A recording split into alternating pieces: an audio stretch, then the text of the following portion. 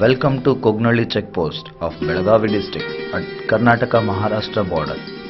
The checkpost is set up by Nipani police of Belagavi district for regulating the people movement during the crisis times of COVID-19 pandemic. The checkpost works in the three phases. At the first phase, our policeman stops all the passenger vehicles in line at parking 1 on the bridge of River Dudganga and check for the valid passes that are issued by Government of Karnataka under Seva Sindhu application. No goods vehicles are disturbed in the process. The vehicles without the valid passes are sent back, whereas the vehicles with the valid passes are lined up at parking 2 in order to prevent the crowding at the second phase of the checkpost.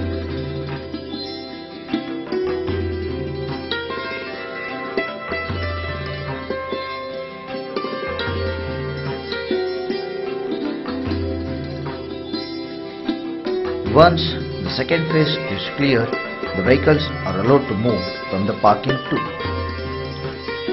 At the phase 2, all the vehicles are parked in the parking area 3.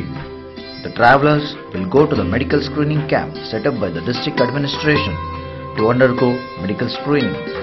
Here, there is a separate counter to each district and the traveler will go to the respective district counters. Each district counters consists of a medical team, a revenue team and a police team. The travelers will first go to the medical screening to check for any symptoms of the COVID-19 using thermal scanners and pulse oximeter. If no symptoms are found, then institutional quarantine seal is put on the hands of the traveler. Later, the revenue department once again verify the pass and collect all the data of the travelers in contact tracing app in order to track them down and to put them under institutional quarantine at their destination district.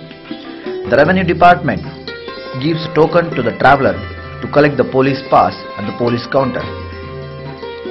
At the police counter, the policeman issues the police pass that consists of vehicles and pass details after verifying the token issued by the revenue department at the medical screening camp. At the exit of the parking, once again policeman checks for the police pass and the same is pasted on the vehicles of the respective travelers. This system is placed in order to prevent any person from missing the administration radar. At the phase 3, the vehicles that are cleared in the phase 2 are lined up according to their destination district.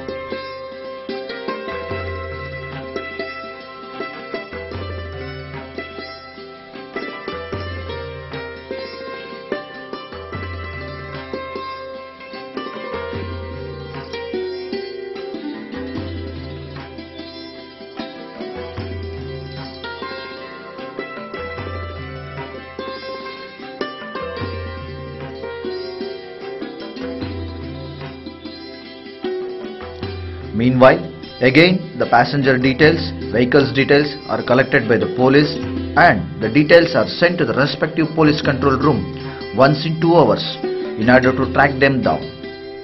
Once the vehicles are lined up, they are escorted to their respective district by a nodal officer appointed by a revenue department.